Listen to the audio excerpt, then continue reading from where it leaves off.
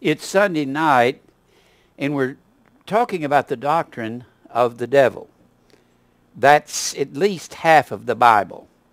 The other half is the doctrine of Christ, or the doctrine of God. And these two are in complete opposition to one another. They oppose one another. Doctrine means instruction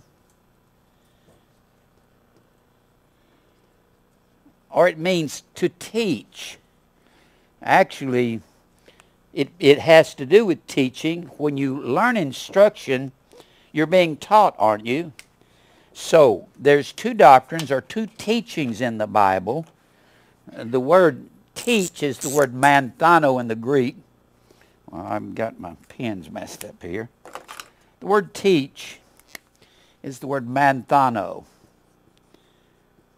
or to learn. Excuse me, teach is mathetuo, M-A-T-H-E-T-E-U-O. Mathetuo, manthano means to learn, and a learner is a disciple and that is the word mathetes. And these are all forms of the same words, mathetes. They are morphemes. Morphemes, they are word shapes that come from the same word. Morphe, morpheme means to shape, shape. And morphe is shaping. Remember we talked about whom he did foreknow, he also did predestinate to be conformed. Conformed is the word sumorphos. When you see some form of the word morpho, morphos or morphos, you see morphe, or you see these words, manthano or mathetuo, manthano, mathetuo, or mathetes, these are all related in meaning to one another.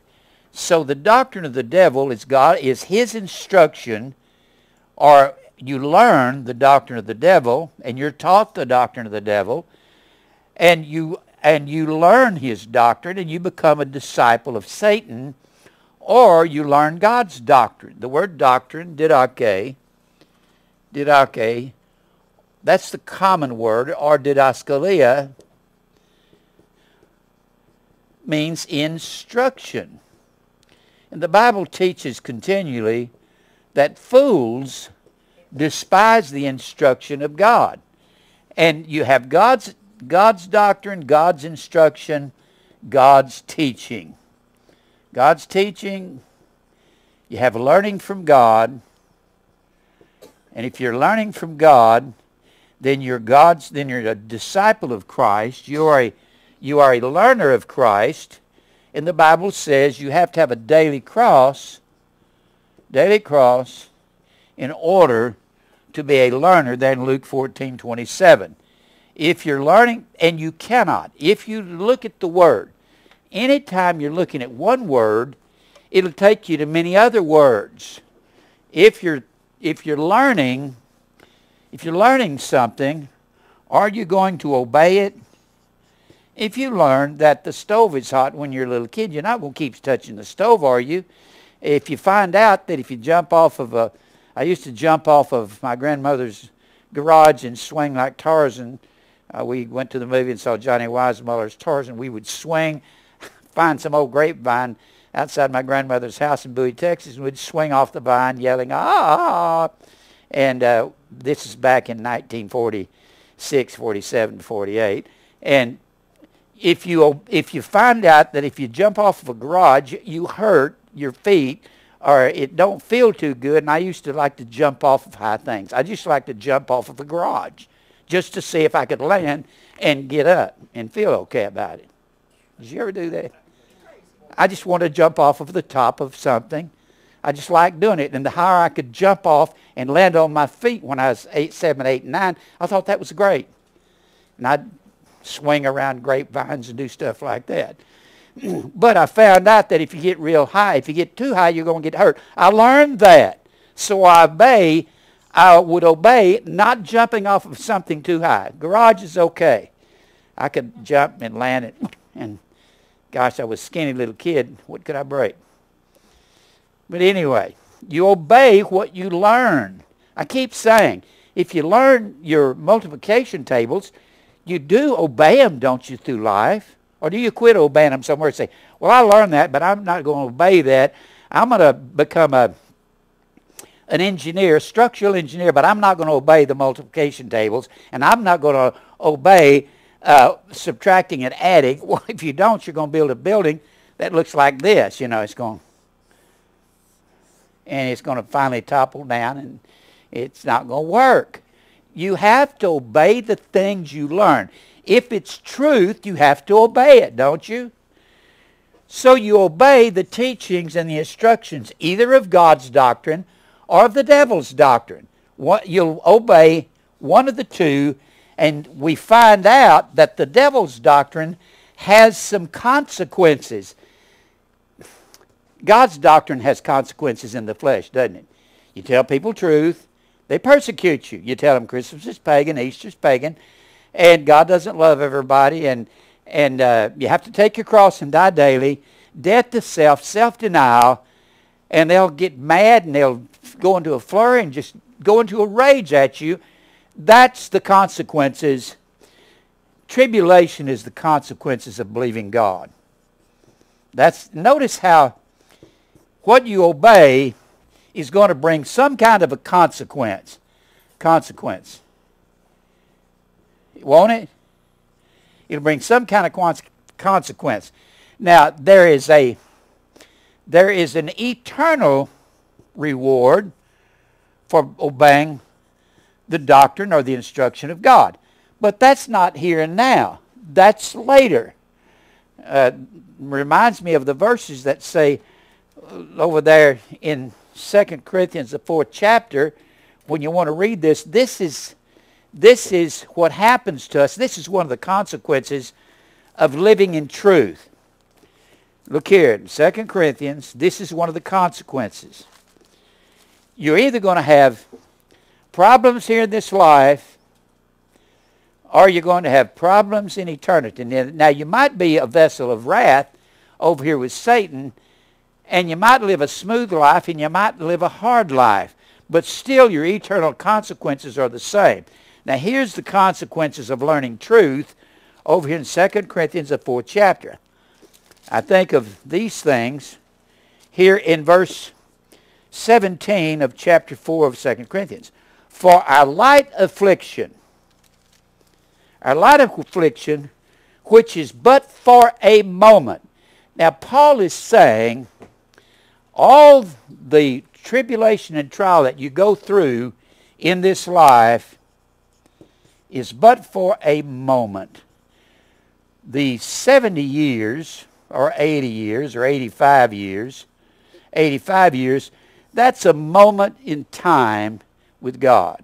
And usually you won't witness all those years. You may witness from, you start growing at 20, you don't get strong till you get to 40 or 45, and then you start witnessing and you catch lots of flack, and you kind of back off a lot, and then you get back on, you back off some more, and then as you get older, you quit backing off and you start standing for truth, and then people think you're a nut, and they think you're a wacko because you don't believe in free will, you don't believe in Christmas, you don't believe in Easter, and you don't believe God loves everybody, and they'll think you're a nut. That's the consequences for believing the truth. That's why Paul and Jesus and Peter, they would all talk about suffering, tribulation. Yea, and all that will live God in Christ Jesus. If you live godly, you're obeying God. Those that live godly in Christ Jesus shall suffer persecution. That's what the Bible says. Well, that is tribulation and persecution and fire and trials, that is the consequence in this life of standing for truth. That is an absolute necessity for every person. You say, do I have to suffer as much as as much as other people? No. Do I have to witness as much as you, Jim? No, because I haven't always witnessed this much. I mean, I started off real antsy and, oh, I love Jesus. I'm going to go out and win the world for Christ.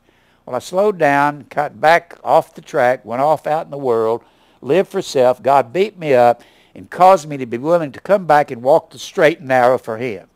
And that's something God has to cause you to do.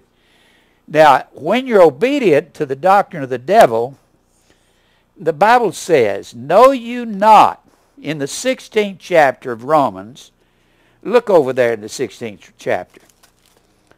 Now, you will obey a doctrine. You'll obey an instruction. Look here in Romans 16, uh, Romans 6, not 16. Romans 6, 6th chapter of Romans.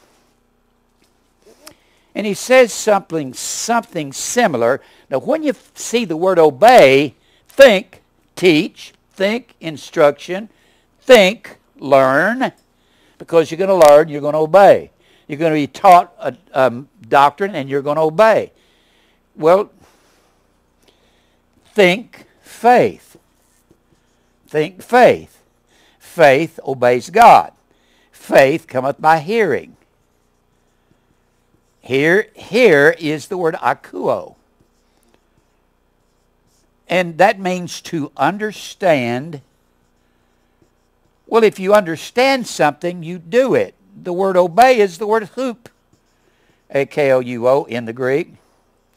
And hupakuo means where you hear. It means to hear under or to be subordinate. Now, if you are a if you are a subordinate at the company you work in, then you've got a superior uh, person telling you what to do, instructing you. Do you have to obey your boss? Well, sure you do. Yes, you have to obey him, or you get fired, or he's going to penalize you or lay you off for several days. So when you think, obey, think, hear, think, think, obey, and think, faith. So faith has to do with being taught. Faith has to do with instruction. Faith has to do with learning.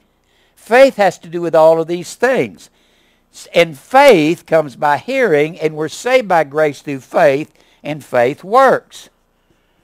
Well, if we're working and doing works of, we're doing good works, and you have to do good works, not in order to be saved. God births his family by his will. He births us. He births us by his will. Of his own will begat he us. We're born not of blood, nor of the will of the flesh, nor the will of man, but of God. Now, if you birth a baby in your family, does it have to obey you? Well, yeah, think baby when you think obey. Sure it has to obey you. You're the father, aren't you?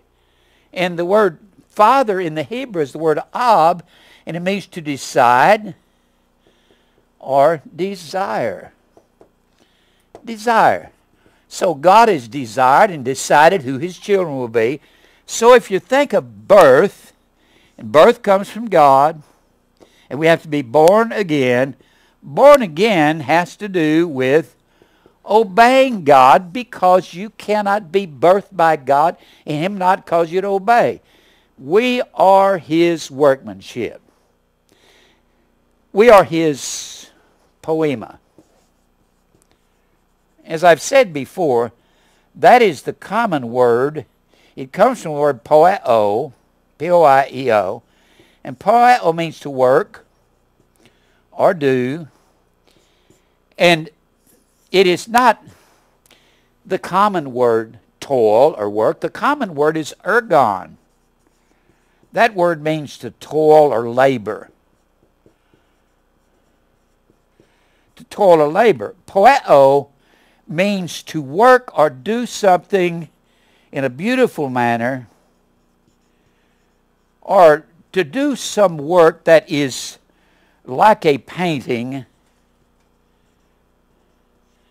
or like a mosaic. And the Bible says we are his workmanship.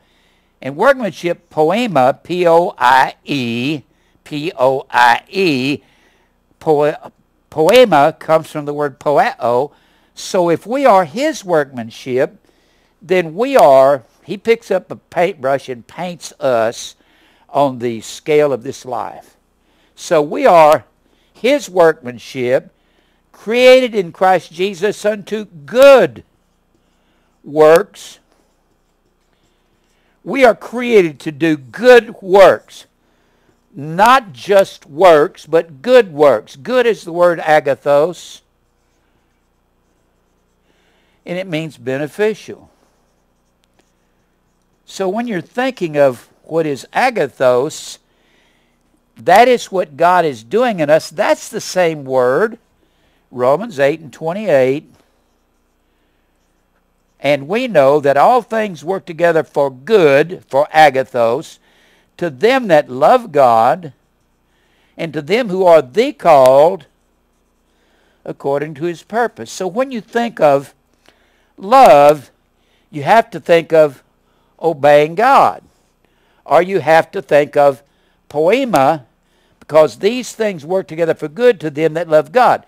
Good connects with love, but that word is agape, and agape is walking in the commandments of God. 2 John 6. This is love. This is agape, that we walk after his commandments. Is walking in God's commandments obeying God? I was raised in a Baptist church, in a Baptist preacher's home. And boy, if there's one thing the Baptists don't believe in is don't you ever mention works. Man, Look, we're saved by grace through faith, and that not of yourselves. It's the gift of God, not of works, not of works, not of works, not of works, not of works, not of works. Don't ever mention that, Jimmy. And then never go to verse 10. I've never, I've heard my father quote Ephesians 2 8 a thousand times if I've heard him once. That or more. And I've never heard my father quote verse 10. Never heard him deal with verse 10. Never heard him even imply verse 10 of Ephesians 2 8. For by grace you, this is Ephesians 2 8 and 9. For by grace you saved through faith. But faith is obedience, isn't it? And that not of yourselves. Faith is the gift of God. It is not of works of self-righteousness, not of works of ritual, lest any man should boast in his own works. That's what it's saying. And then it says, we are his workmanship. Right after it says, not of works, they sounded like parrots. All those independent Baptists I around, not of works, not of works, ah, not of works, not of works, not of works. I don't know why they didn't all buy them a parrot and teach them, not of works, not of works. Has anybody been in a Baptist church that they would say that? You're not allowed to talk about works. Oh, they talk about godly and holy. If you're godly and holy, you cease to work for self and you do the works of God. What is that, Jim? Doing the things that he said, agonizing over sin, sharing the truth with people, and being persecuted for it? Well, I can't do what you do. You're not supposed to. You're supposed to do what you're able to do, and that's all. And then I get to lay down and be lazy. I'm going to make excuse. No. I've told people, they say, I can't remember all those Greek words. Don't remember them all. Learn three or four of them and use them with your friends. Use one on your friends. I'll tell you the easiest thing to remember talking to people. If there's, look at the things that the world has twisted and perverted. The world is perverted. They perverted just nearly every word in the Bible. They don't have any idea what any of it means. And we're talking about the doctrine of the devil is a perversion. It's perverted scripture is what it is. The doctrine of the devil is not uh, something with horns and a tail and some vampire out of a movie and comes up out of a grave and you have to drive a stake in his heart. That's not the doctrine of the devil. That's a fairy tale. Well, it is the doctrine of the devil, isn't it? that's, that's foolishness. The doctrine of the devil keeps Scripture involved. It just twists it. That's all it does. Now, you have to, when you're thinking of obedience to God, you're thinking about agape. You can tie nearly every word in the Bible with the word obey or with the word teach. Instruction, teach, learn, uh, to shape us into the likeness of Jesus so that we will obey we will learn, and that has to do with obedience to God, doing the good works of God when we love God. And agape is walking His commandments, and that's obeying God. Has anybody heard preachers say, we're not saved by works. We're not saved by works, but boy, they get upset when you talk about doing what's right. Has anybody ever heard that, Ken? They'll just say, you're not supposed to, this works has nothing to do with our salvation. That's like saying, me obeying my mother has nothing to do with what I'm going to be born or not. You're already born. You have to obey, period. It's kind of getting things. You can't obey God in order to be born, can you? Because you, what can you do before you're born? Huh? Can you do anything before you're born? How can you obey God in order to be born? This is where the not of works people, not of works is true, but it's not of works of self-righteousness and it's not of rituals. It's not rituals. It's not performing a ritual and it's not being self-righteous. I keep saying you can have two people. You can have this man and this woman. And they can go out and give this man over here a bag of groceries, and this man can be doing it to be seen of man, and this woman can be doing it because God said to do it. And she won't be looking for glory, and he will. Every time somebody does something, I don't care if it's charity. They're doing it to be seen of men. When God is not alive in a man's heart, we're talking about the doctrine of the devil. The doctrine of the devil is just self. Some shall depart from faith in the latter times, there in 1 Timothy 4 and 1, and they'll give heed to seducing spirits, seducing. They'll, they'll depart from death to self. Daily cross. Christmas is pagan. Easter's pagan. When you believe God, faith is belief, and when you believe God, you believe the words of the Scripture. You can't own a Bible and walk around like so many people and say, I believe God. Well, you believe what's in that Bible, don't you? Well, yeah, I believe it. Do you believe for whom he did foreknow, he also did predestinate to be conformed to the image of his Son? Well, uh, well, it, the Bible don't mean that. Well, could I have your Bible and show it to you? No, I'm not. Have anybody do that to you? I've tried to show people verses. No, I'm not going to look at that. That's because their minds are twisted. America is perverted. The doctrine of the devil is a perversion. It takes the scripture and says, oh, God don't mean that. Isn't that what Satan said in the garden? God don't mean that. He don't mean you'll die. He says, he means everything he says. He means you have to obey God. He means if you belong to me, I will whip you within an inch of your life. I scourge every son I receive. This, I've been told, well, God, you don't have to crucify self. Well, then Luke 9.23 is a lie. All the verses talking about death to self and daily cross and self-denial is a lie if you don't have to crucify self. I believe America is just completely in a perverted state. I've got something here. I believe America's brainwashed. I believe everybody has redefined everything in the Bible. And the reason I believe that is I believe we're close to the end of time. And the Bible teaches that at the end of time, the great apostasy will be here. Men will fall away from faith, and they'll give heed to seducing spirits. That word seducing, planos, means an impostor. They'll give, so they'll give heed to impostors. To be an impostor, you have to pass yourself off as something you're not. You have to be a hypocrite, don't you? H-U-P-O-K-R-I-T-E-S. Hypocrites. That's what Jesus called the Pharisees. It was an actor. It was a stage actor wearing a mask. Hi, how you, sir? It's wonderful. I went into my doctor's office the other day, and I've got all these T-shirts, and on one of the back back of one of them says, "Christians in America are like Stepford wives. They have a goofy look and a phony smile." And one of the one of the uh, nurses, she saw it and she started laughing. She started cackling. She said, "That's so funny." It's that. See, that made me know that they were reading my shirts. I go into the church all the time. God doesn't love everybody. Christmas is pagan, and all this kind of stuff. And they don't comment a lot of but she couldn't keep from laughing at that one. She said, that's true, isn't it? I was telling a lady the other day that uh, we was talking about that, how Christians act so act so self-righteous and so pious and so holy. And that's true. They act like that without being normal, without being say, hey, how you doing? Well, praise the Lord. God is wonderful. Isn't Jesus is just wonderful? That's what slap. Get away from me. Shut up. Don't you just hate that? It's fake as a $3 bill. Now, let me tell you something. When you see something and you see a personality out there that's absolutely too good to be true, let me tell you a secret. It is every time.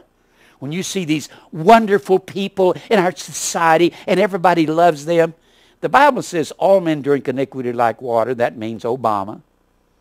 That means Bill Clinton. We know he does. He comes out in the paper. So does George Bush. So does all the presidents.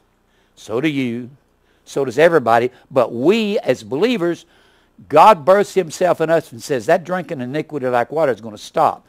You can believe that there's none righteous, no, not one. There's none good. There's none that understandeth. There's none that seeketh after God. And I said it to Dave again last night. I said, whenever you realize that the Bible is true about what mankind is like, and you realize that there's no good in a man's heart unless he has been born again. He has no good whatsoever. He's worthless. I don't care how nice they look.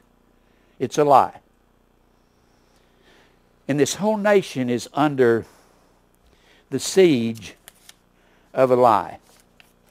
I didn't know what happened to Larry Jones. I knew that he was phony as a $3 bill. You remember Larry Jones? The nice little guy with Feed the Children on the TV? just uh, we're trying to feed all the children in the world. And let me tell you about this man. Had a lady sent me this. I should have looked at it myself on the internet. But let me tell you about him. You notice he's not on TV anymore? He looked like a nice little, just a little short man and had such a gentle voice. And, and he is promoting this worldwide Feed the Children campaign when you see something that nice and there's no standing for truth, it's phony. If people do not somewhere speak of a daily cross, self-denial, denying self, from the Bible, not saying, let's go out here and feed some poor people and needy, and we want to get you all out here and gathered together to feed them. And there's no Christ in it. Don't ever give to charities like that. We give to the poor and the needy, but not through some charity.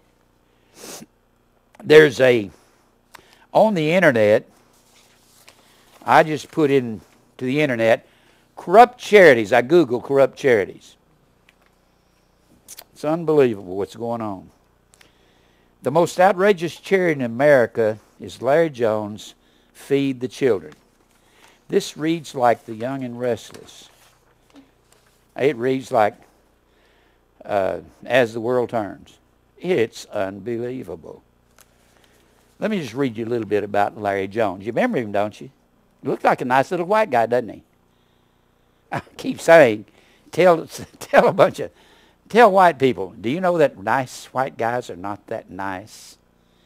Well, you're just bitter, Jim Brown, but you can tell a black man, do you know that nice white guys are not that nice? They go, well, tell me something I don't know. That's the truth, isn't it? Isn't that right? That's true. You know that nice white guys are not that nice, don't you? I'm talking to the big black man down here, Robert, in case you don't know I'm talking to. Robert's one of the gentlest souls I know. Now, let me read this to you. More bad behavior has come to light after AIP hand, handed feed the the feed the children its most outrageous charity award. It's the most outrageous charity by this watchdog group.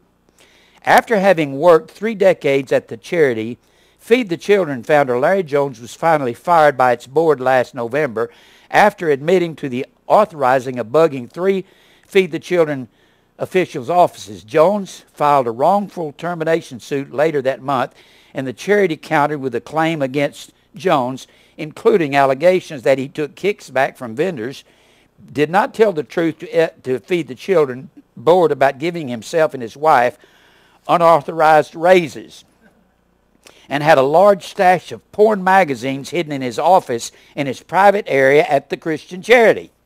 This is the nice little white guy, Larry Jones.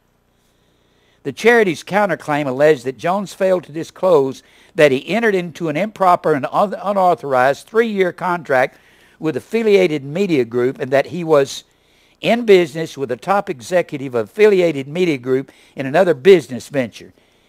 Uh, in a 1239-09 article, Jones told the Oklahoman that he was paid 10,000 a month in sales commissions by affiliated media group because he recruited preachers this is out of the Feed the Children Fund.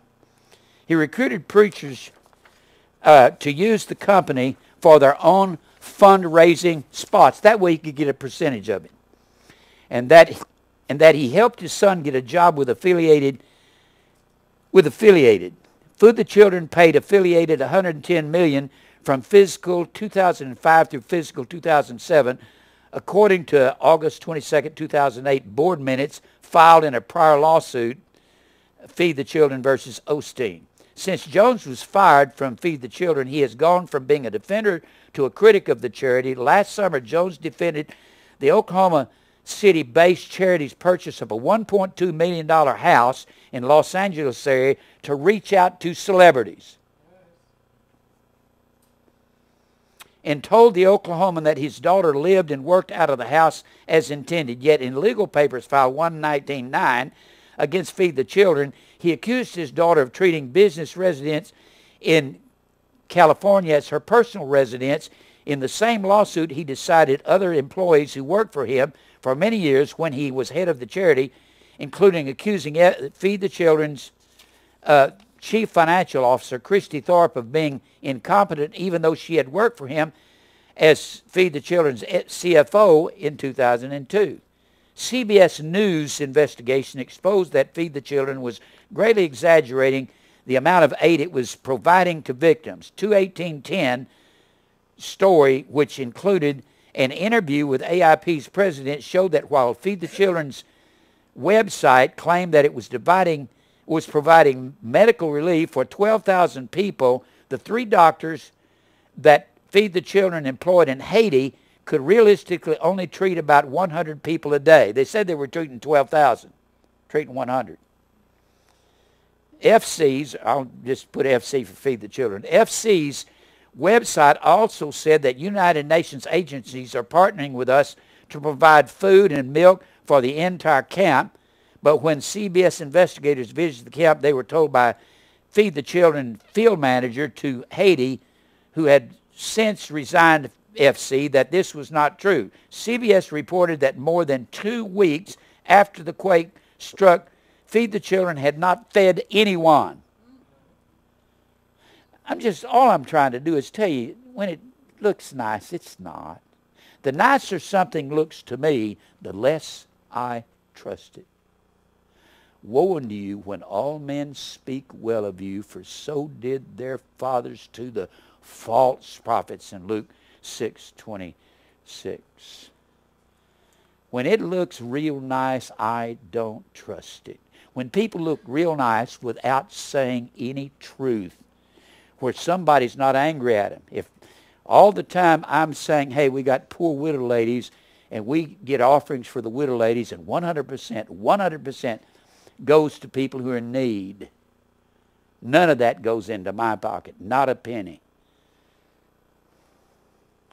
When CBS reporter Sharyl Atkinson, during an on-camera interview, told Feed the Children Director of Communications, Tony Sellers, that no food had been handed out, his response was, that does surprise me at this time, yes.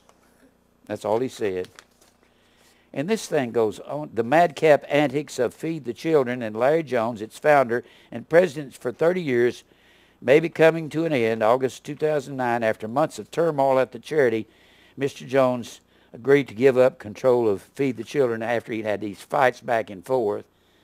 Marcus Owens Esquire had been hired by Larry Jones to help him with failed scheme to fire FC's board and replace them with his hand-picked pastor board so Larry Jones could have unfettered control over Feed the Children. He could continue his freewheeling dominance of its affairs. He sure does look nice, though, doesn't he? And this thing goes on and on. FC emphasized feeding hungry children in its name and most of its fundraising and PR, yet food is not mentioned in the in the breakouts of non-cash property received in FC's fiscal 2008 tax form. These breakouts account for 736 million or 69% of the total non-cash items received consisting of 548.5 million or 83% medicine, 52 million and or 7% books and the rest assorted necessities and so forth. AIP has long questioned the report value of FC's non-cash support. It's saying that most of this stuff has been hidden by Mr. Jones. And I've had people call me and say, I, I give to feed the children. You're giving to a sleaze bag. That's what you're giving to. I don't believe in real nice people that don't know Jesus. There's not a nice, I don't care what color they are. I don't believe in them. I don't believe in Jesse Jackson. I don't know where the black community ever got the idea that he was black because he's not. He's white as the the as Snow White out there, isn't he? Now don't believe these nice guys. Don't you believe them. If a man's not saying truth and being persecuted for it, there's nothing Christian about the man. I don't care what kind of charity he's in. Let me tell you a secret about about. Uh, don't tell nobody. Let me tell you a secret about telethons. I was in the music business. Every music group that's not famous is trying to break the telethon circuit. It's like a circuit out there. And if you think those musicians are doing that for free, no, they're not. When you watch Jerry Lewis Telethon, if you think Frank Sinatra and Sammy Davis Jr. and all those guys that went on there and all these modern entertainers that go on there today, if you think they're going on there for free, you are mistaken. They're getting huge amounts of those offerings coming in. When you break the telethon circuit, you can stay busy doing that, making lots of money even small name group, if you can get an in with one of those people where they start featuring you, not only will you get in with them, it'll make you somewhat famous and you'll start making TV shows. It's a way to break in to the big time. And they pay everybody. And Jerry Lewis keeps a lot of that for himself. I doubt seriously if over 10% of what Jerry Lewis brings in goes to muscular dystrophy. Goes to overhead. That's what they're saying in here. There's Father John Ritter of Covenant House. Father John Ritter of Covenant House, he started taking people into his shabby little place and he was trying to, he was feeding all these people and even he was called an unsung hero by Ronald Reagan, was applauded by first by the first President Bush and Mother Teresa, but underneath all this public acclaim, rumors had circulated of years of sexual relations between Ritter and residents of Covenant House. And he was putting money aside for young women and keeping people. William Aramony of the United Way of America. Have you ever heard of United Way, hadn't you? Aramony, uh, he was 22 years as president and CEO of United Way. 1992, Aramony resigned amidst allegations that he siphoned money from the UWA through spin-off companies he helped to create. Aramony was convicted on 25 felony counts and sentenced to seven years in prison for fraudulently diverting 1.2 million of the charity's money to benefit himself and his friends. And it goes on to say Aramony chose to use some of the charity's funds. For instance, he used UWA cash to woo a girl, Lori Villasor, who was 17 years old when they began dating. Aramony was 59. He met Villasor while dating her slightly older sister. Both young women were added to UWA's payroll. For his notoriously young girlfriend, Aramony spent 450000 of the charity's money to purchase and lavishly furnish a New York condo, 78000 to chauffeur her around New York City, and 4800 to renovate her home in Florida. The couple vacationed in Egypt. Uh, London, Las Vegas, Atlantic City. The New York Times published a testimony of Aramony's former aide, Rena Duncan, with whom he had also had an affair. Duncan testified to falsifying Aramony's expense records for seven years so that he can charge the charity for things like champagne, flowers, and plane tickets for Villasor. And it goes on and on.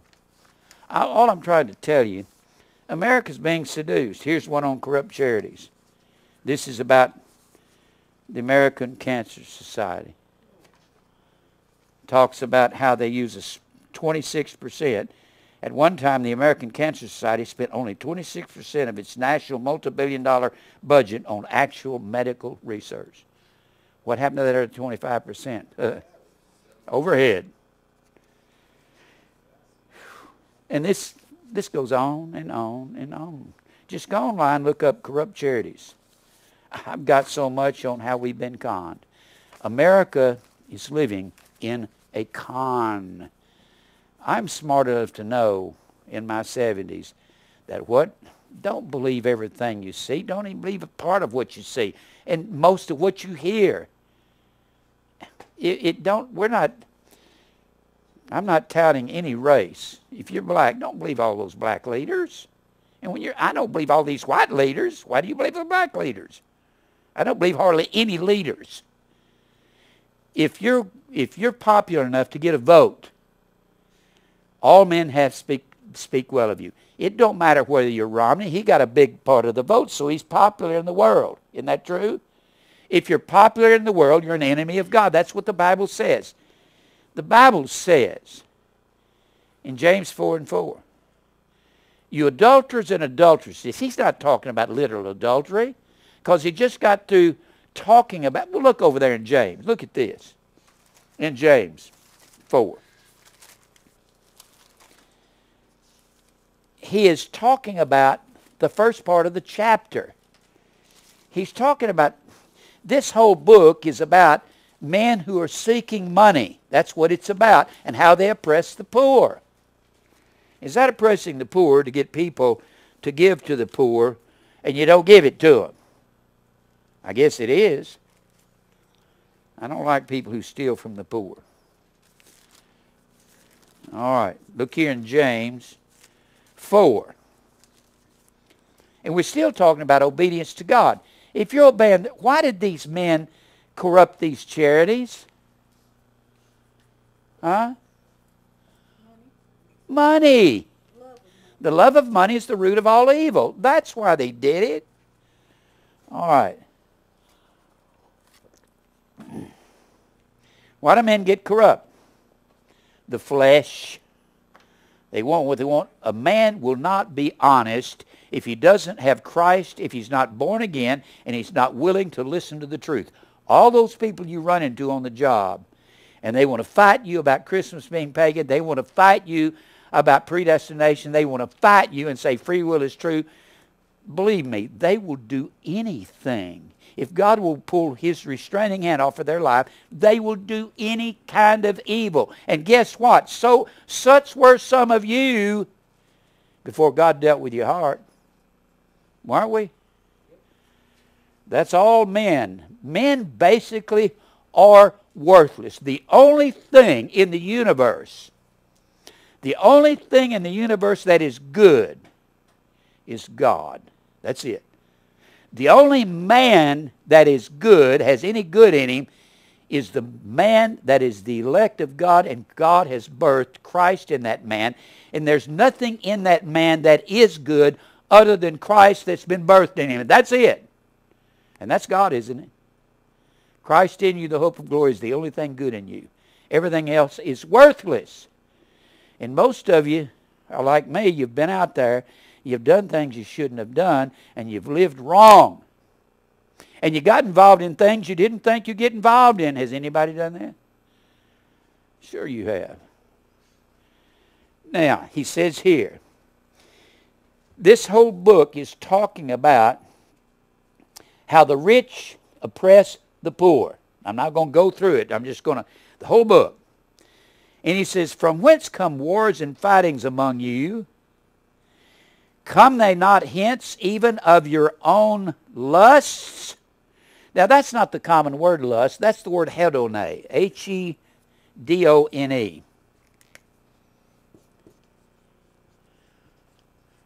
A hedonistic person is a person who believes they can live in any kind of sensual desires. No matter how lascivious, no matter how depraved it is, if it feels good, do it. That's what they believe. Now, who is James talking to here? Unbelievers? There's not one word of this book written to vessels of wrath fitted to destruction. This book was written to God's people. So he says, I'm talking to believers. He says, you believers, he says, how do these wars and fightings come about in the church? He said they come about because, he says, there's fightings among you. Come they not here even of your lust that war in your members? He says you lust. Now that word there is the word epithumeo. Epi, T-H-U-M-E-O. Now we're talking about being deceived. We're talking about planos. Every time you find the word deceived, we're talking about this word planos because it is a form of planos or planeo. It means to be an impostor, one who pretends. The man that leads you away from faith pretends to be a truth sayer, and they are soothsayers. They're saying soothing things. And they're seducing by being an impostor by leading people away. Now the Bible tells us, he says, let me give you a verse before I go any further. He says, You lust and have not, and kill and desire to have, and cannot obtain. You fight war, yet you have not because you ask not. Now, he says, You lust. If you'll notice, lust or epithumia, to breathe hard after, and to long for that which is forbidden, epithumia, or epithumeo, that means to long for that which is forbidden. Long for forbidden. Now he's saying, James is saying here that believers can have a longing in their flesh for that which is forbidden for you to long for. It don't just it can mean a woman or a man, but it also can mean a car or things or stuff or money or recognition or when somebody going to pay me attention. When's my turn coming? Has anybody felt that way? Well, everybody's felt that way. That is longing for self is what it's longing for. If you, let me, I don't know how to say this. I'm, if you want to either lift yourself up and say, listen to me sing, watch me, watch me catch a pass, watch me throw a football, watch me dunk a basketball, watch me play a guitar, watch my sales ability, watch me build a company, watch me. If you do that, that's pride. If you say, poor me, woe is me, I'm pitiful. Everybody pay attention to me. Do you know that's the same kind of pride as raising yourself up, trying to be pitiful about yourself?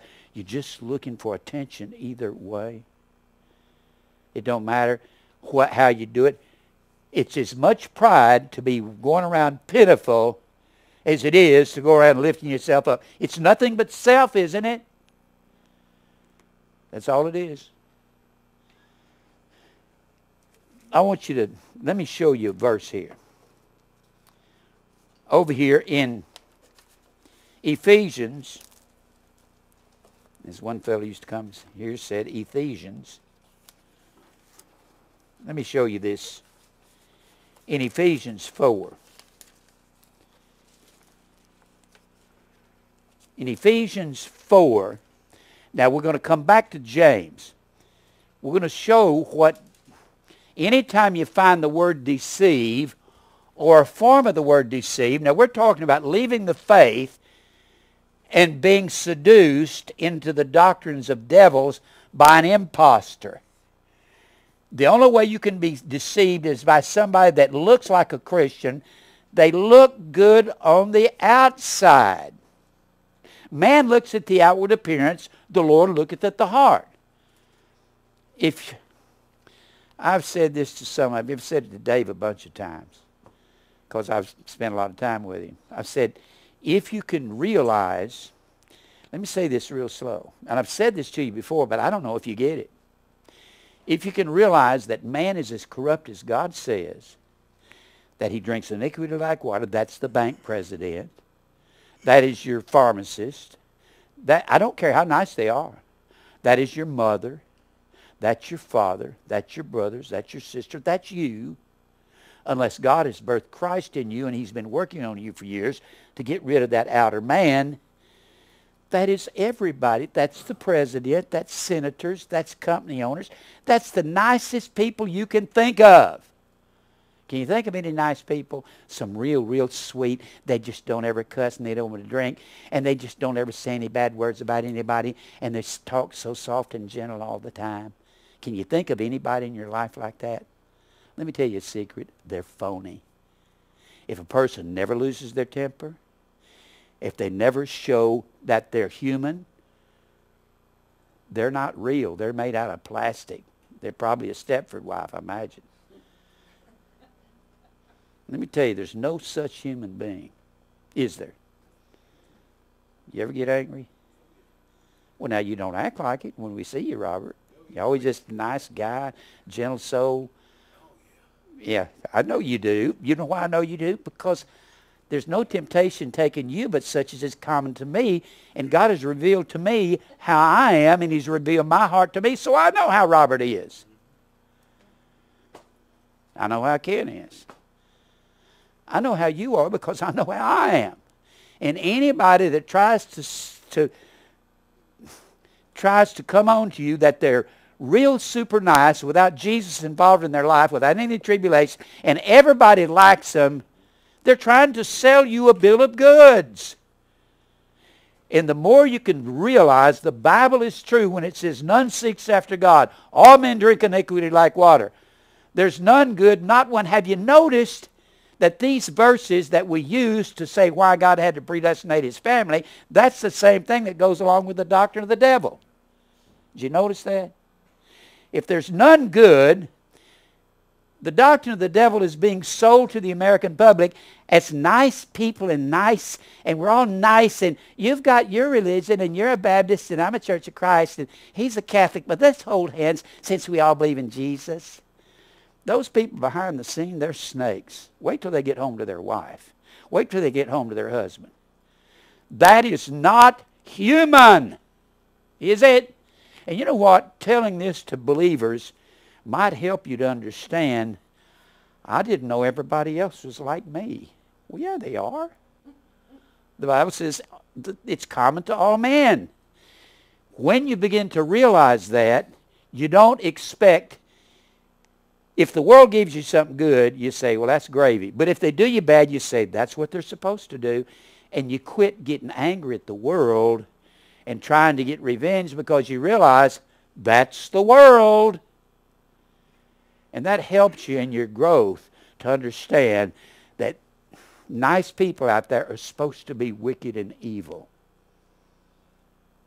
And my experiences in the music business, the nicest guys in the world, I knew a lot of them. People say, if you can't get along with him, you can't get along with me, anybody because he's a wonderful guy. And he was a crook. I had some deals with him. But he always smiled all the time. Hi, I'm a famous singer and I'm somebody. And hey, is everybody loves me. Don't trust that ever. Don't trust Bill Gaither and all those singers there on the TV. You can't trust that. I know a lot of those guys when they cussed like sailors, when they had all kinds of affairs with women, and you see a Bill Gaither infomercial, and they're all going, we all love Jesus. And nobody ever gives a testimony about, I used to live like a heathen 40 years ago when Jim Brown was in gospel music. I used to live like a heathen. I want to say that God has dealt with my heart. You'd never hear any of them give that, yet they were all that way when they're young. And the only reason they're not that way now, they're too old to chase women now. Or they're about got one foot in the grave. Don't trust anybody that nice if they're not born again and doesn't have Christ inside. You understand what I'm saying? I'm not saying don't place your trust. Expect the worst when it happens. Because it's going to happen. And that way you can say, well, they were supposed to do that to me. I guess I'll have to watch out when I get around from them from now on. I'll try to stay away from them. And God's using them as swords in his hand to cut his people down and make us behave ourselves.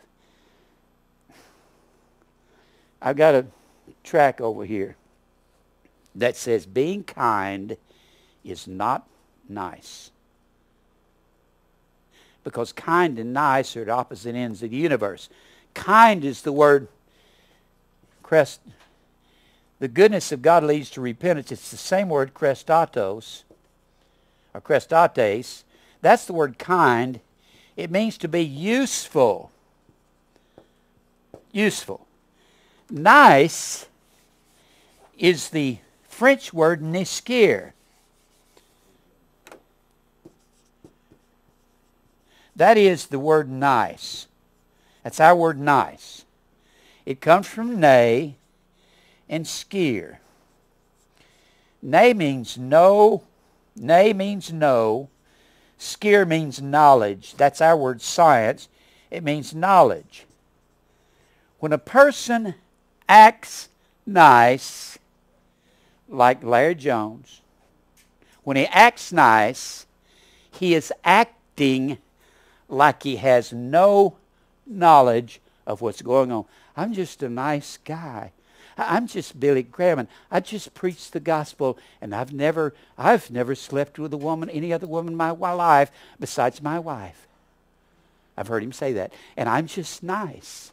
And can you see how nice I am and how I don't have hardly any sin in my life, and I never have? Billy Graham's got enough pride to put him in hell. Do you actually think a man is that what he's doing is he is these people that act nice and they're putting a con on the American public, they're playing dumb. That's all they're doing. Boy, we need to get that in our head. Why do you think I emphasize it all the time? I was in the music business. I was in real estate. Don't you believe when you start talking to real estate, hi there. Well, it's so good to see you. I've been wanting to see you for a long time. Oh, they, your wife is beautiful and, and she looks like a mud fence. And, and your and your kids are so sweet and they're jumping all over the office. Those are cute little kids and the, and the real estate agents wanting to whack them in the head. Did you know that when somebody leaves the office like that, they go into another office? I'd kill those kids if it's mine. Then they're polishing them up. That's a con. You're going to buy a car and the guy says, it's good to see you, Mr. Brown. I got a car that's for you. How do you know? My wife will tell you I've stopped them. I've said this before. I stopped one down here at Rivergate one time. I found a car that's you, and I said, don't you talk to us like that. It's like I would slapped him in the face. He went, what did I say, Mr. Brown? I said, don't talk to me that way like I'm some dumb kid. I said, oh, man, I'm an old man. I don't like to be conned and talk too slick. And from then on, he talked real nice. Nice. he pretended that he pretended to be a better sinner than he was pretending before. Uh, he talked straighter to us after I said that. I said that to a kid up here in Gallatin. I said, "Don't talk to me that way." Well, sir, what what what, what did I do? What, what, what, I said, "I don't like a con." That slick talk, I don't like it. Just tell one of them that. You won't believe how they change. It's like you just slap them, just like that. They, they'll change their tune fast. Now, I want you to look over here at Ephesians 4. We're still talking about, about lust. Well, let me show you something, what I'm doing. I use this verse I use this verse as a key verse. Let me show you what I do when I'm studying. We're studying being seduced by doctrines of devils. Devil, daemon, meaning distributing fortunes. The way planos is the word seduced. The, and we're talking about 1 Timothy 4 and 1. Planos. And I've got several words that are this word deceive. I'll put them up. Uh, we have several words for deceived. I've got the word planos. I have the word planeo. And I have the word plane. Looks like plane, but it's plane. And I have the word planetes. And planetes means a wanderer. Wanderer. And a planet is a wandering, it's a wandering body out there in space that has no light. And that's what that's what a deceiver deceiver is. It's so what I do if you have the earth planets stars are out here our sun is a star they've got their big balls of gas and they're on fire when you look at stars, every star you see out there is a sun, and every sun is a star. It, when we're looking out through the sky, we're looking at light that's been coming, from, and you look at that those stars over there, those big balls of gas. We're watching light coming to the earth from some star, and that star is maybe 20 million miles from Earth, and we're seeing the light from that star. Some of the stars we see may have burned, burned out for a million years.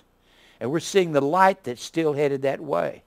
When, one of, when a star explodes, it becomes a nova or a supernova. And it's the brightest thing in the universe other than a quasar. A quasar is an explosion. It's actually a sucking in of billions of stars into this quasar, and it's devouring billions of stars, shooting a flame into space a trillion miles. But when you're talking about our solar system,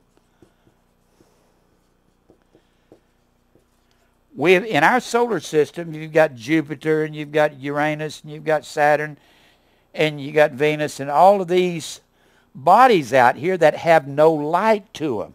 They are planets. Every star is a sun. And it's on fire and it's flaming. Flaming. Every star is a sun.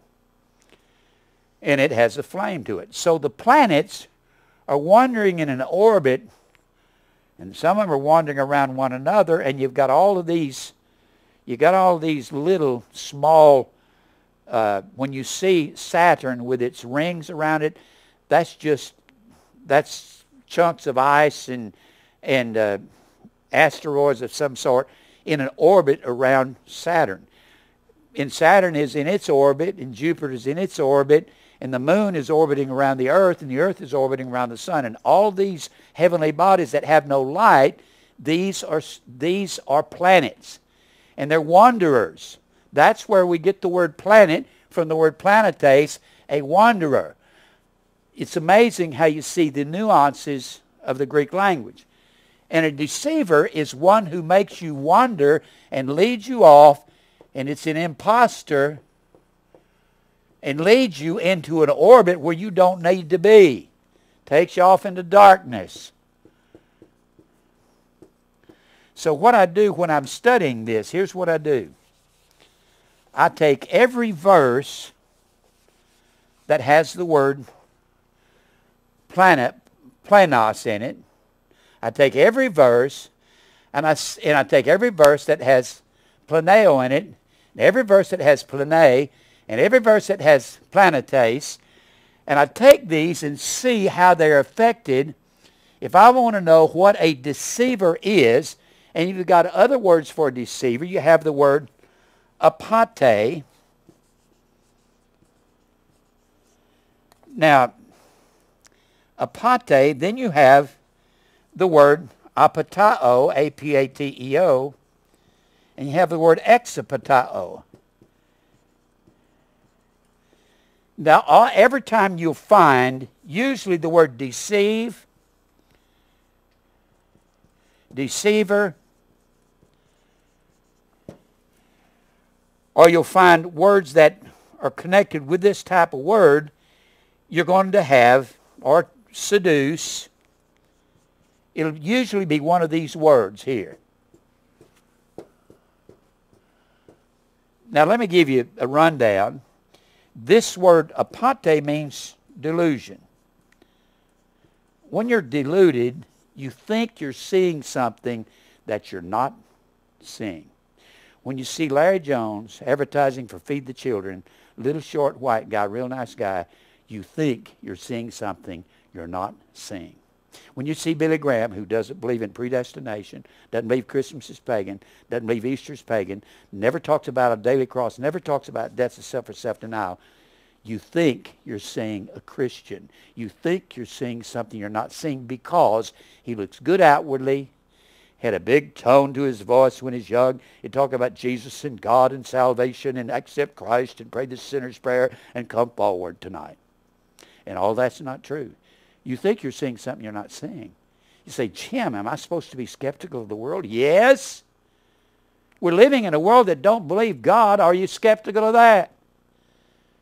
Some of you have got in-laws that your brother-in-law's a real nice guy, but you know him behind the scenes. Have you ever had somebody like that in your family? And he ain't what the world thinks he is. Nobody is what they look like they are. They're playing dumb. Now you take every one of these words, this means delusion, or deceit, deceit, And this word apatao means to cheat. It's a derivative of apate, to cheat, or delude, or deceive. This word exapatao means to just completely deceive. Putting the X on there means completely deceive or to seduce wholly or beguile. To beguile, guile, guile is the word dolos. It means to trick by the way you act, the way you talk. Talk soft and easy and say, well, I love everybody. I'm a Christian. And what do you mean? I, I believe in free will, Jim Brown. I really believe that God loves everybody. Huh? Yeah. God loves us all, doesn't he? God loves everyone. I just want to tell you how it's all, have you ever seen those charismatics? It's about you and this is your day. Isn't that what, isn't that Benny Hinn's title on his show? This is your day. This guy across town goes on TV with Joel Osteen. He said, it's about you. It's about self. This is self's day. They tell you it's about self all the time, and they look nice. Has anybody seen the guy across town that comes on with Joel Osteen? Evidently, he went to Houston, and he says, and it's your day. And boy, he sure does look like a nice guy. Trust him as far as I could pick him up and throw him. You wouldn't trust him. Do I trust the guy that says, don't you leave till you see me? Found out he had a record down in Florida. Now he had to go off TV because he's cheating on his wife and he got caught with a gun and did all this stuff. Didn't he look nice? He did, didn't he? Did I trust him before he got caught? No, I didn't trust him. I'd say, that guy's a phony. All you have to do is look, look at something that's too good to be true, and you can say it's a phony every time, and it is, because it doesn't live in reality. Doesn't say I'm a sinner. I'm struggling, folks. I didn't say you're supposed to be stay in your sin, I said you're supposed to be agonizing over it and struggling with it. Say, Jim, I'm struggling. Anybody who won't say that is lying because they're pretending they don't have any sin. And then you get into the words Plane means fraudulent. Plane means fraud. If you defraud somebody, don't you talk to them and say, I'm going to make you rich. I was in music business, and man, I knew some con artists in that business. If they walked in, you might as well take your billfold out of your pocket and hand it to them. Say, look, I know you're going to get it later anyway. There was a guy named Bill Starnes, music. I mean, super con artist. Just best of the best. He made you feel wonderful. I've told the story before, but I was down getting a haircut back in the late 60s down in a barber shop in down in East Nash or down in Inglewood. I think it's Tommy's barber shop down there, up behind the East High School. And I used to get my hair cut there, and, and I was sitting in there, and George Jones and Tammy Wynette walked in, and I heard her talking about Starnes this and Starnes that, and I had known that this guy had managed them because he told us at one time he did. And I looked over at Tammy. I said, you talking about Bill Starnes? And she started laughing. She said, she started laughing and said, isn't he good? I said, I have never seen anybody like him in my life. She And Tammy said, you know, you could give Bill a dime for a phone call. That's all a phone call cost, cost back then. She said you could turn him loose in New York City with a short sleeve shirt and a pair of jeans in a blizzard, and he'll have $10,000 in his pocket in less than two days and be driving a new Cadillac. I said, I don't have any doubt about that. One time he went out and leased some equipment, then he took it and sold it. One time he went into a bank in Sour Lake, Texas, told me the story about it, asked the bank president how he would rob the bank if he was robbing it. And Bill was such a charmer. And the bank president told him all about how he had robbed it, and then Bill went home and come back and robbed the bank. And then he went to prison, and within three months he's given rehabilitation speeches for the warden in Seagoville, Texas. Some of these guys are so good. If you think he can make you feel good, he can make you feel like a million dollars in just a few minutes. Now, he wouldn't con me. These guys, when they come in, there's this, I, I'm like a uranium detector. When one of them walks in, and with that supercharm, it's like, don't anybody believe him. He's making us feel good. Get away. Get away.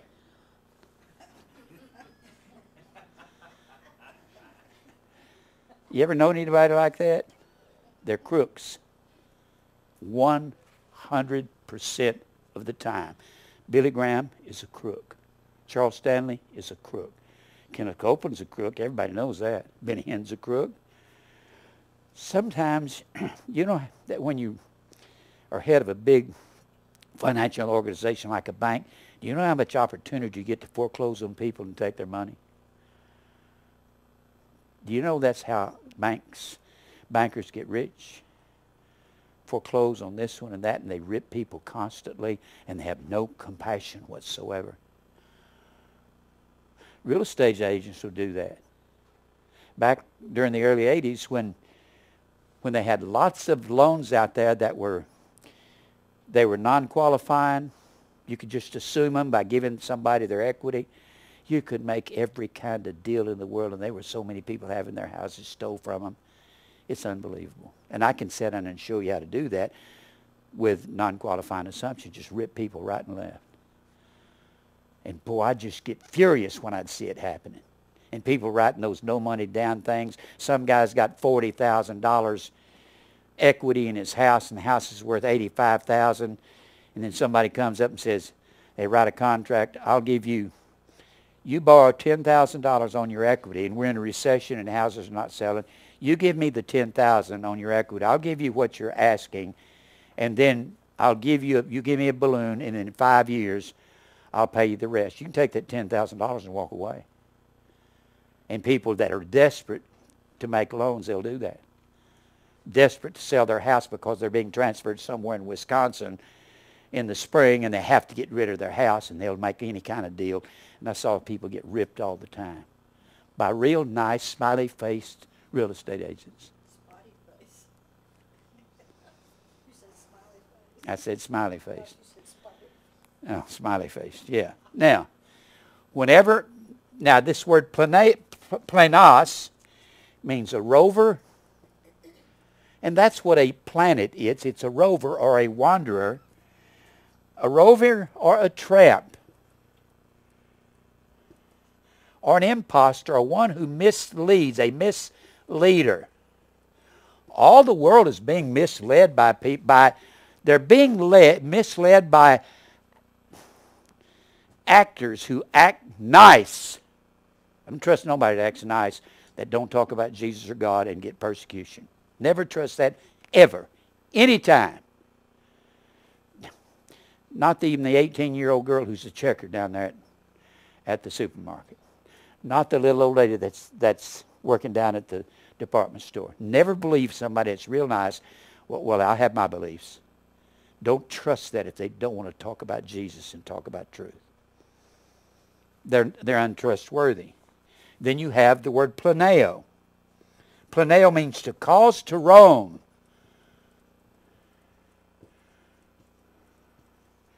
To cause to roam from safety, from safety, or to be out of the way. And the way is narrow, isn't it? And that's the daily cross, to be out of the way. And there's a narrow way and a broad way. And when you go to the doctrine of the devil, you go to the broad way, don't you? Don't you? Where you can live the way you want and have the things you want in the flesh. It means to deceive or to err, to seduce, and to roam from truth is what it means. That word planeo means to roam from truth. Roam from truth. So in the latter times some shall depart from the faith, and they'll give heed to seducing spirits, and they'll doctrines of devil. Seducing spirits is the spirit that causes you to roam from truth and go seek self. That's what it is. That's why you have to deny self. Now, I want you to look over here in Ephesians. How much time do I have, Mike? Huh? I'm not getting started where I wanted to go. Now look over here in Ephesians 4, and then we'll go back to James 4. I don't know if you know how much studying there is to do on this. You take every one of these words, every time it's mentioned.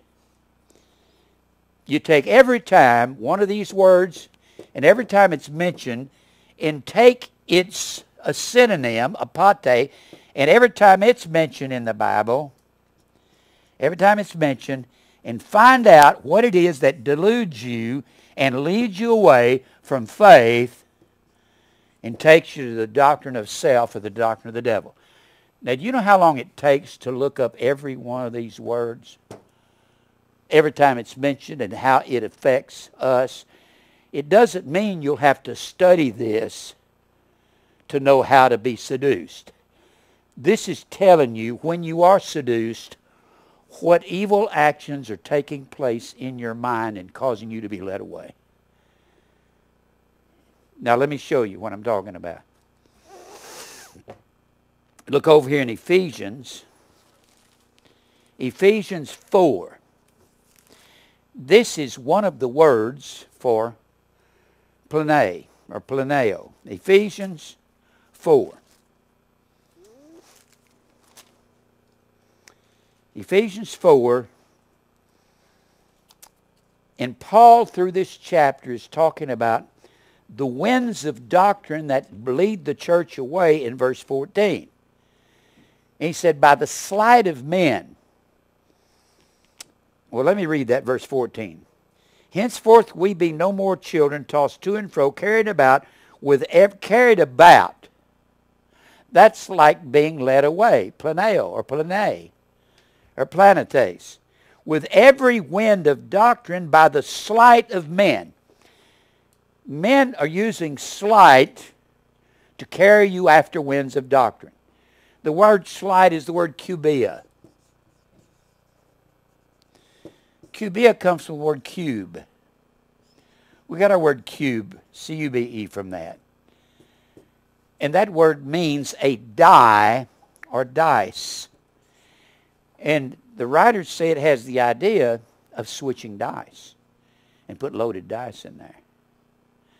Make to fool you and think that you've got a chance to be rich when they've got it set against you. It's just like going to Las Vegas and taking a thousand dollars.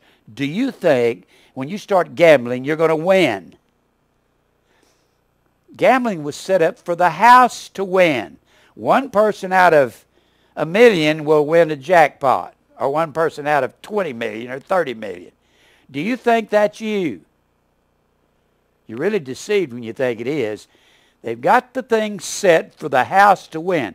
What's amazing, if you start learning to count cards and you're playing blackjack, and you can count the number of cards just because you're extremely intelligent, they realize that you're a card counter and they will they will blackball you from that casino and from every casino in town and they'll put the word out and your picture out there and you're not allowed to go over there and play blackjack just because you're good at it.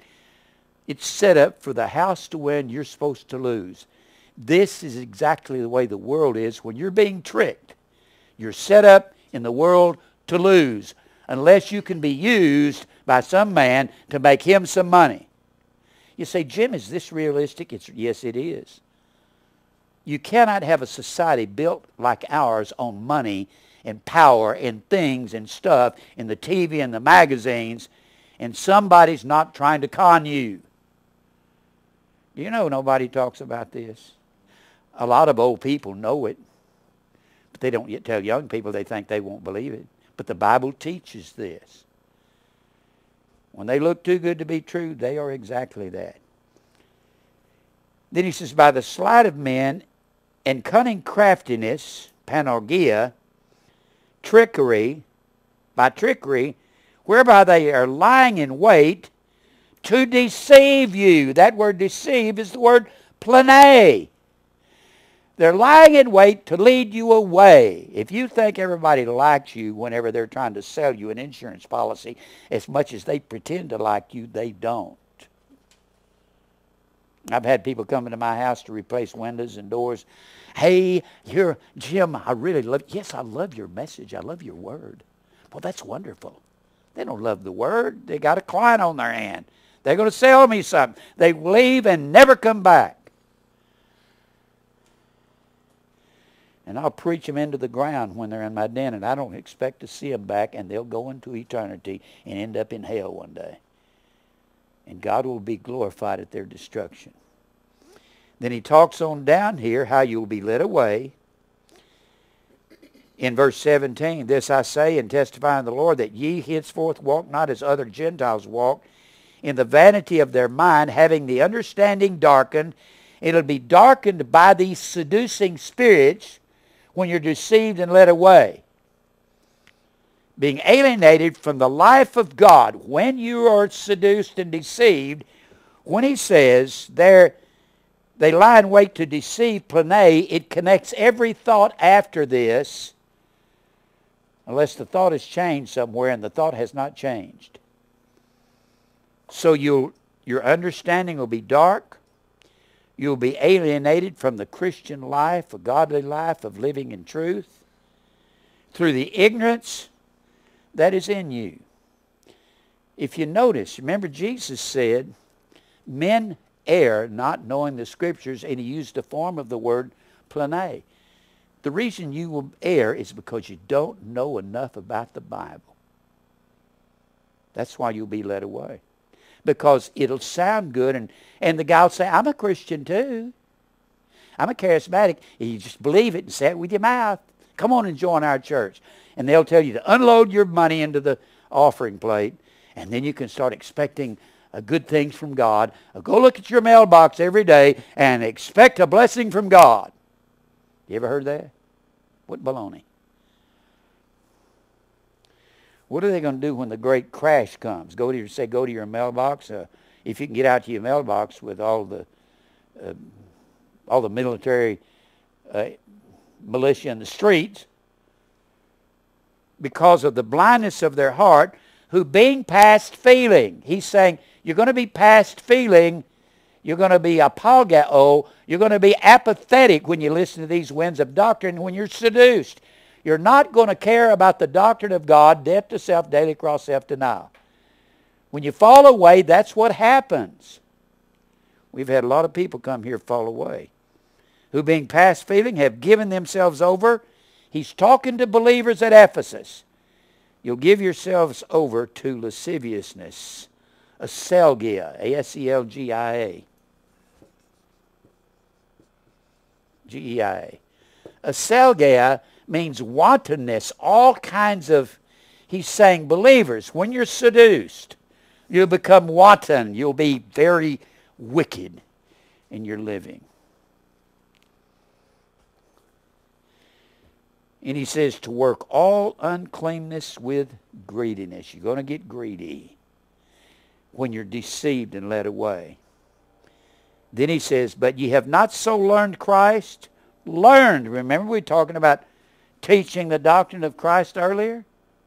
We're talking about obeying God. You haven't learned Christ to obey him living this way. But he says this will happen when you're deceived, plane, planeo, planetes, and you start to wander away from God, this is what happens. If so be you have heard him and have been taught by him, remember taught, teach, learn, obey? When you see these words, think of the other words. And what is it you've learned as the truth is in Jesus? You learn truth, don't you? You learn to take the cover off. Aletheia. That's the word truth. Take off the cover. Aletheia comes from lanthano, means to lie hid. And placing the alpha in front of that negates the word. It means not to hide anything. Tell the truth. Live in it. Look at yourself and say, I have to live in truth. Look at verse 22. Then put off concerning the former conversation the old man, the outer man of Romans 7. You have an inner man and an outer man. It's the outer man that will be deceived and led away. Put off the old man,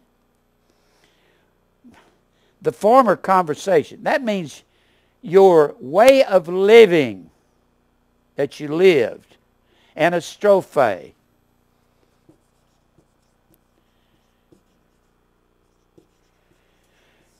It means behavior.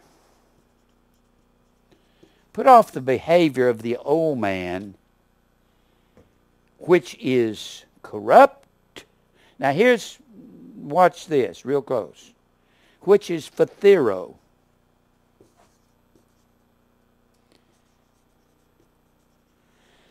Which is corrupt.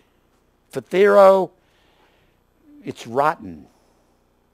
The old man is rotten concerning spiritual things according now notice, I'm going to read this real slow. The old man is corrupt according to deceitful lusts. Now what you do, this word deceitful is the word apate. Deceitful lust.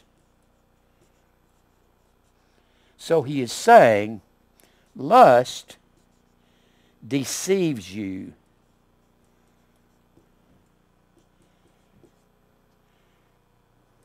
Lust is deceitful. Now what you do, you take the word lust and run it everywhere you find it in the Bible, and it'll tell you everything that results in your deception in the Scripture.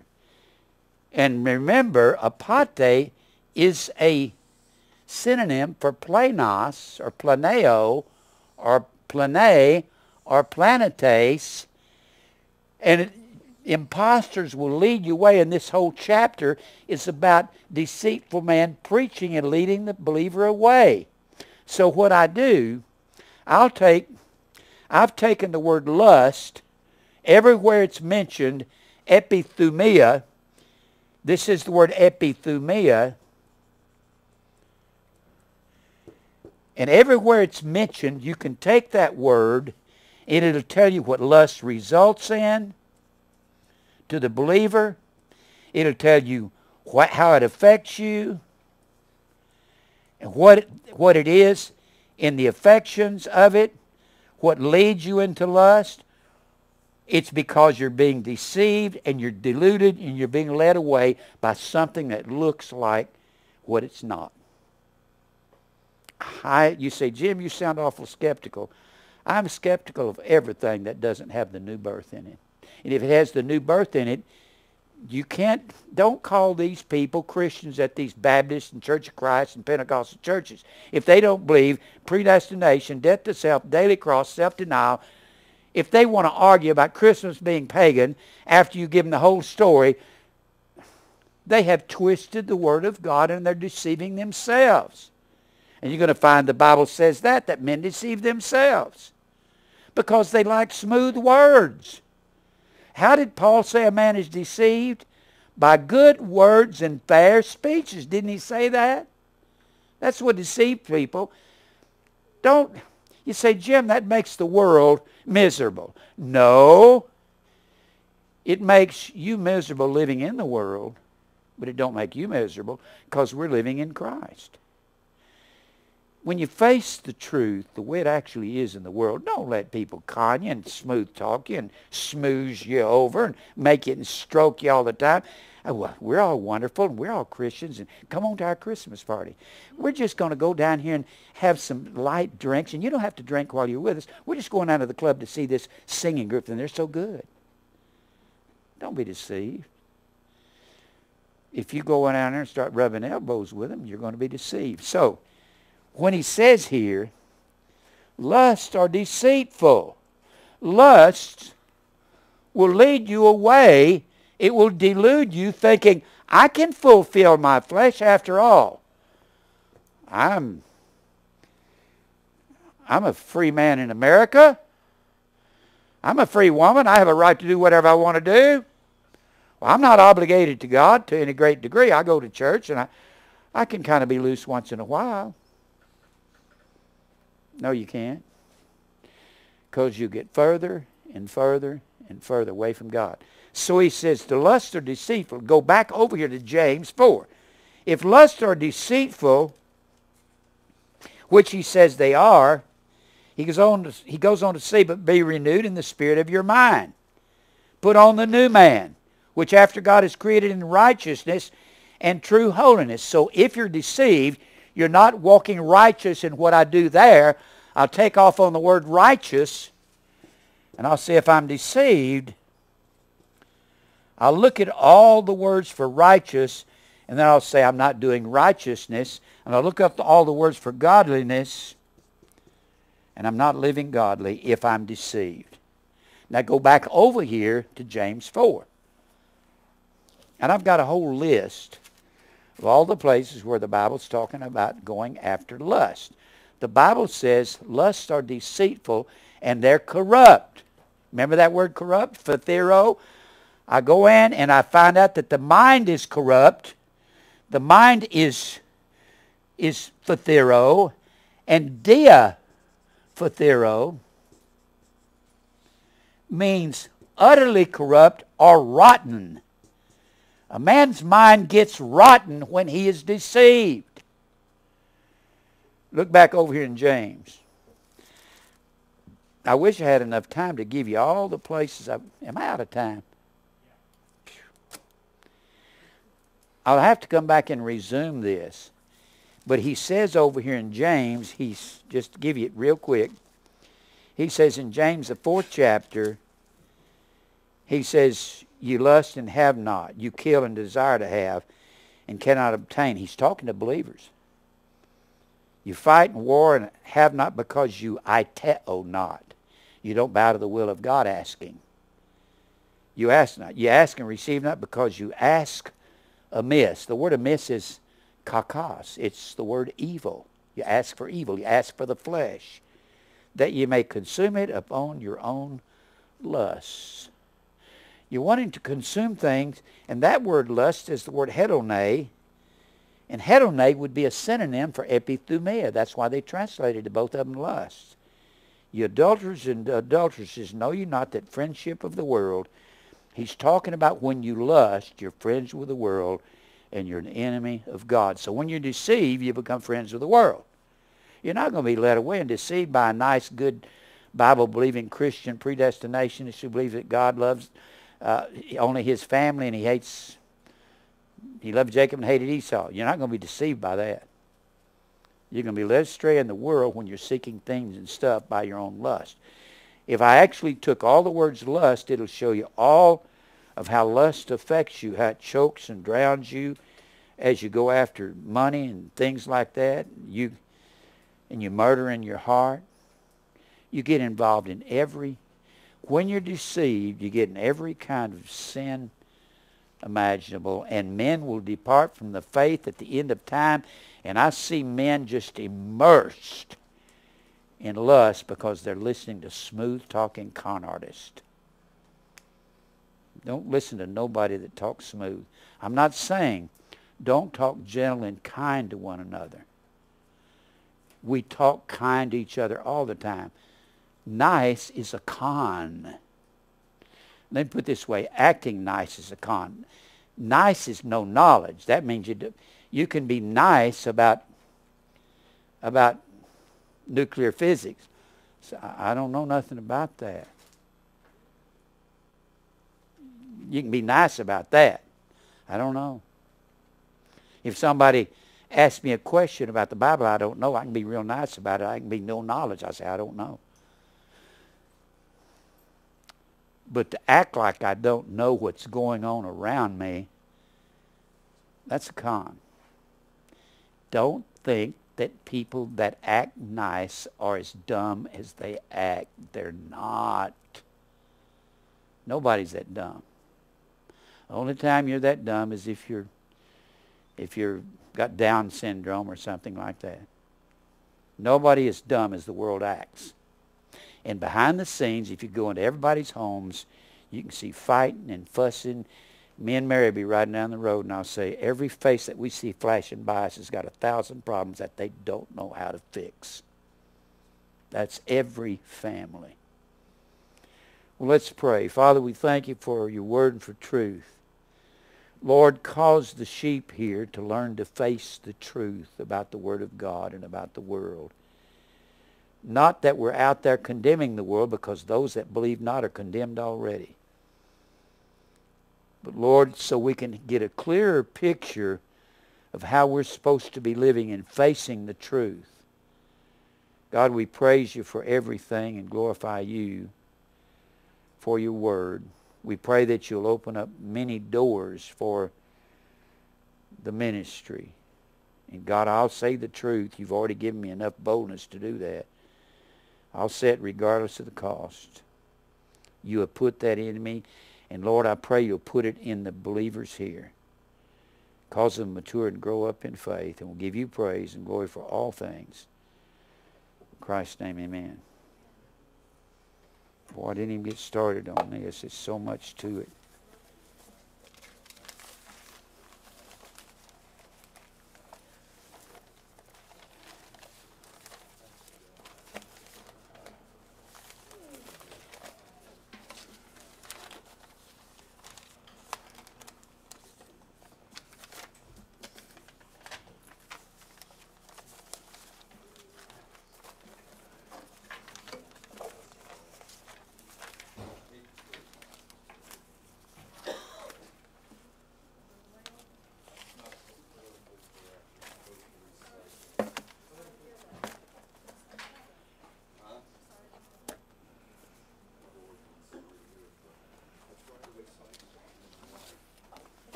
Jason.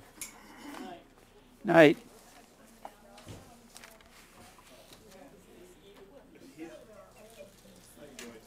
Doing good. Well, I hope I'm just trying to let get people to see reality, you know. I see it.